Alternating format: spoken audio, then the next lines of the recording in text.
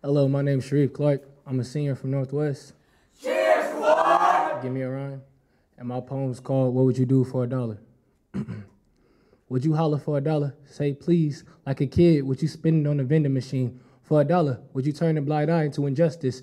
You might as well. You do it for free. I don't have to pay you to know the black boys dying, the rape victims crying, the government lying, but you don't mind. Because that Washington is washing tons of that filth, that blood away, so it won't be in your hands. Ain't George so kind? You keep your eyes glued on the TV until you see the kids on the commercials being shadowed by starvation. They're only asking for some bread a day. With no, with 14, no, no food in the kids' stomachs, they're 14 days, two a week. Next week is fashion week. For a dollar, would you find a solution so black boys don't have to wear a body bag, which is complemented by the yellow crime tape? For a dollar, would you stop spreading rumors of a girl being a harlot through the grapevine? For 10 dimes, would you stop harassing a woman with your hands and eyes because you think she looks fine? For 20 nickels, auntie, would you put down the wine? For a hundred pennies, sir, can you not use your fist to express yourself this time? A Washington worth of makeup can't cover the bruises, and four quarters ain't enough to help her escape the abuse. Oh, your job is getting up those dollars, so you're frustrated. Well, sir, for this subject, no matter how much you offer, we are not buying your excuses.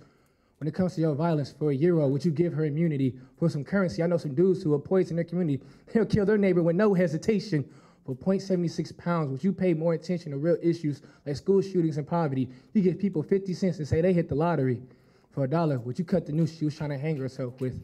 No more goodbyes, as I'll see you later.